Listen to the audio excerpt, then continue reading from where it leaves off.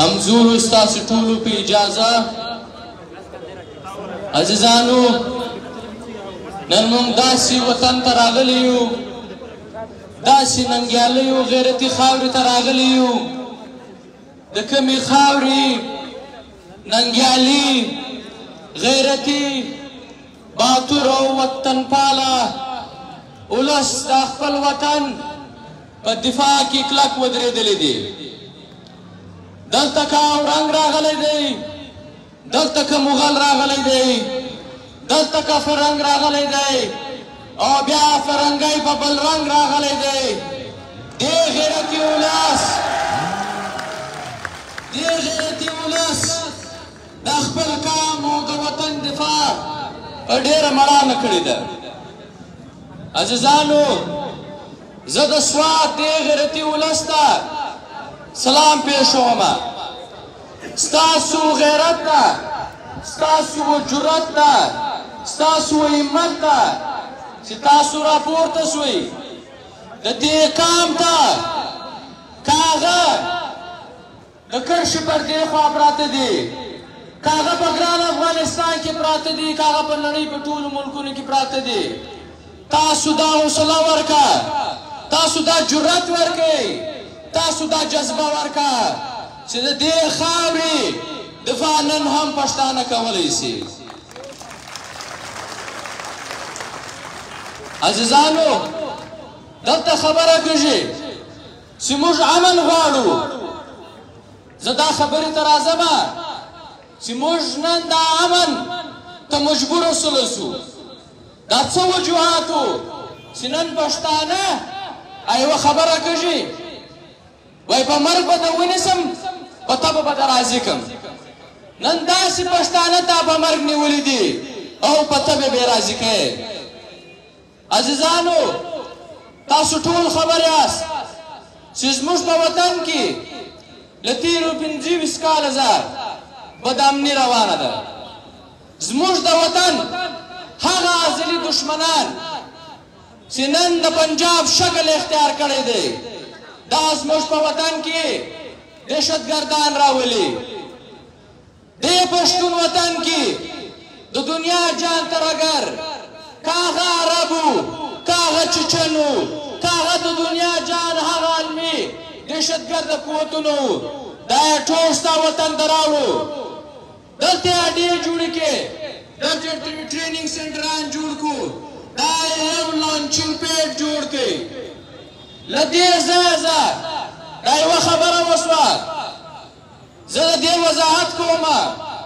چې له دې ځایه ځه له دې پاکستانه ځه دهشتګردانې جوړول او بیا افغانستان ته لږل او راتلې ترګري په کوله عزیزانو دا ترګر چې دلته راوستو دوی ته ټول اختیار ورکړل دوی چې دلته هر څه کول و دوی ته اختیار و دلته که دوی قبضې کولې دلته که دوی بمونه الزول دلته که دوی مشران مړه کول د چا په کورو ورننوتو د پښتنو په عزتونو ورننوتو دلته کې هر قسم وحشت کولی د دې شاته ریاست ولاړو و دوی ته دا منډیټ ورکړی وو چې دا وطن به ته پر امن نه پرېږدې د دې وطن امن به خرابې د دې وطن بچان به غولې د دې وطن بچان به د کفر او په اسلام باندې به غولې او بیا به راخې د خپل پښتنو په خلاف به استعماله بیا چې دنیا دا ولیده چې دا څه روان دي دلته خو بدامني ده، دلته خو دا پاکستان د عالمي دهشتګردو یو مرکز جوړ شوی دی، بیا یې د ډالرو او د نورو ریال په خاطر په دې وطن کې بیا نامنهاده اپریشنونه شروع شو. تاسو په دې سوات کې ولیدو د اپریشن پر نامه باندې د سوات د خلکو سره څه چلونه نه شوه. په یو موبایل روډ په یو سر کې به طالب وو د بل سر کې به د فوجانو یو چیک پوسټ وو پر یو باندې به هم مرګ وو بې عزتي به وې شکنځاوې به وې پر بل باندې به مرګ وو بې عزتي به وې شکنځاوې به وې عزیزانو په دې اپریشن کې د سوات خلک یې د ټوپک په زور د سوات ځای وایستو و دې ته مجبور کو چې دوی به په کیمپونو کې ژوند ترې آی ډي پي کیمپونو کې و دې ته مجبور کو چې دوی به د خپل وطن کډه کږي پردي وطن کې به ژوند کوي دلته په لکونو کورونه برباد کو دلته تجارتي مراکز برباد کړل دلته د خلکو سره هغه چمونه وکړو چې په و مذهب ناروا چمونه دي هغه چلونه وسره وکړو چې په انسانیت کې د یو قام سره نه دي سوي بیا دغسې ډرامه په دوه زره څوارلس کې اې پي اېس ډرامه سې وکا د پښتانه بچان سې د دغه ترګرو په لاس باندې شهیدان کال بیا پر هغه باندې راپورته سو بیا یې په سوات باندې تیرې وکي په فاټا باندې هغه فاټا هغه فاټا چې هغه د وطن او د خپل لکان د پاره د فرنګي سره په سلونو جنگونه کړی دي په هغه فاټا کې بیا فوجي اپریشنونه شروع کړو هلته ټینکونه راوستو هلته جټ راوستی هلته د پښتانه پر کور باندې حمله وکړي خبره دا کوله چې موږ به دلته د دهشتګردۍ خلاف اپریشن کو تا خو اپریشن د پښتانه خلاف وکړي تا خو د افشان دا پښتانه کورونه ړنګ کړل تا خو د ده کاروبارونه ړنګ کړل تا په زرګونو پښتانه دا د لاپته کړل دا د ورک کړل دا د اغلا کړل او دا د راواخیستل د دې سیداشت د غسل د انجام سره د مخامخ کړل چې موږ یې بیانولی نه سو هغه دهشتګردان چې تا به ویلې زه د دوی خلاف لګیا یم اپریشن کوم هغه دهشتګردانو ته تا لاره ورکړه ستا به نګراني کې تا به محفوظو مقاماتو ته دا دهشتګردان ولږل تا محفوظه کړل نن تاسو ویناستئ نن بیا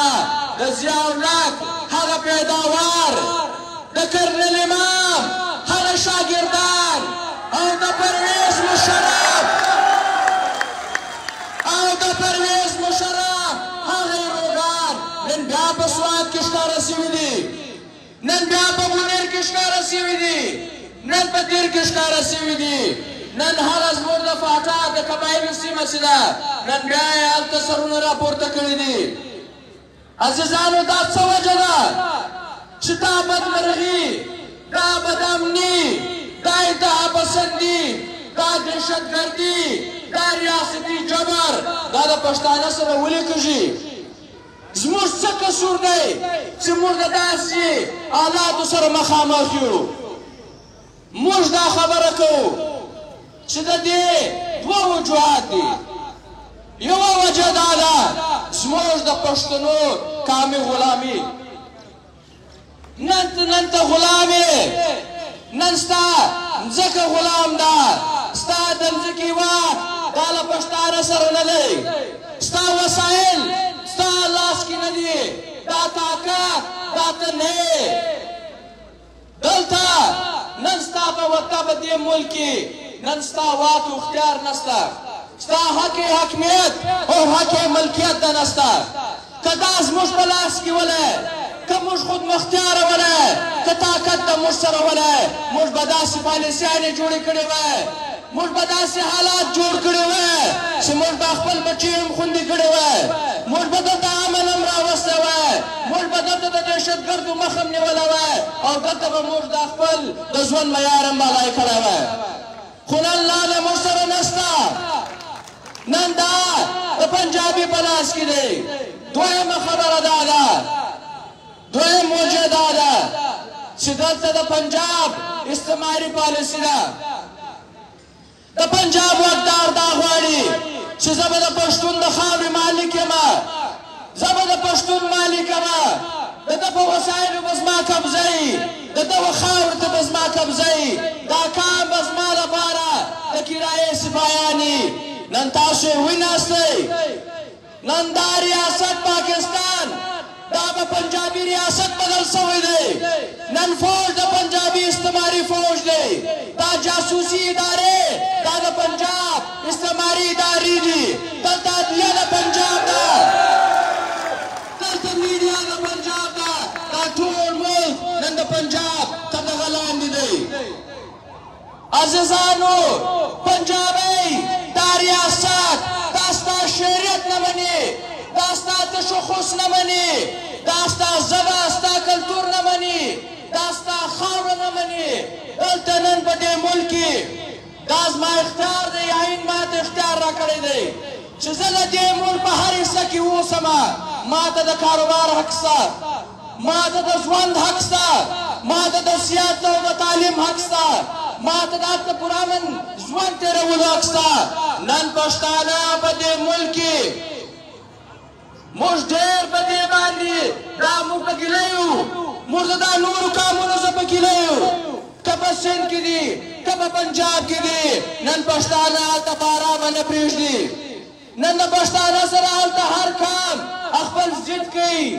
هلته هر قام لګیا دی پښتانه زیری پښتانه تنګي نو لہذا ورونو موږ به دا خپل قامي غلامي ختمو ټایم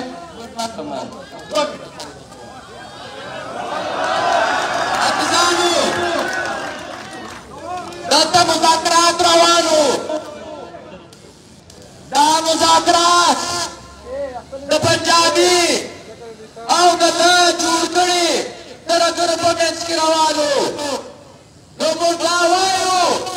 چې دا اختیار تا له چا درکړی دی ته به زما د خاورې زما د وطن زما د ولس د دې اختیار ته نه لرې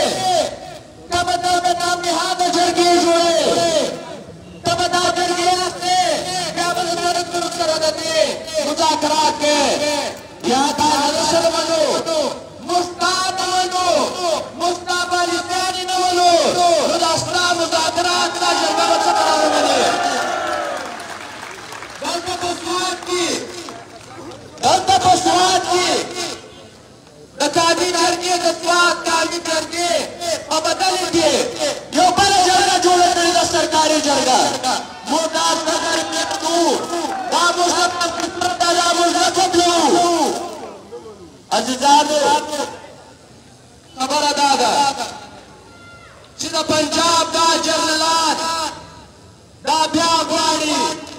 چې په پښتانه وطن کې یو نوی جنګ ولس مسلط کړي دا بیا غواړي چې د پښتانه بچي دا موږ وغولو دا موږ راواخو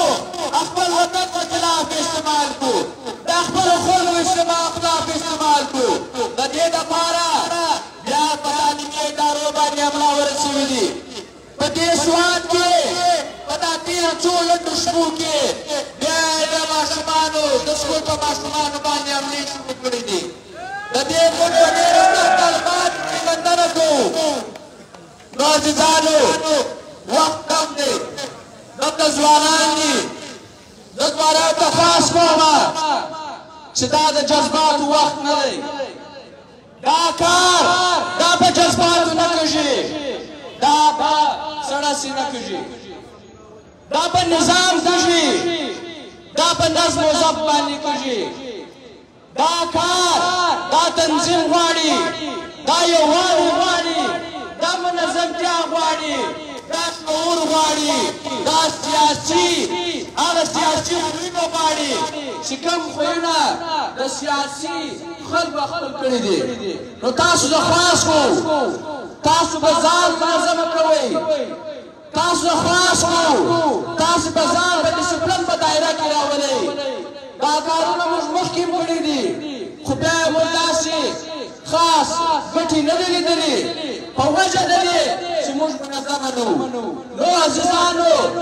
نو پښتنو ای ځوانانو دا خاوره تاسو ته ګوري دا خاوره په تاسو باندې حق لري دا ستاسو مور ده دا را روان نسل تاسو ته ګوري تاسو خاص دی چې راپور سئ د دې وطن دفاع وکړئ د دې کار خدمت وکړئ ډېره مننه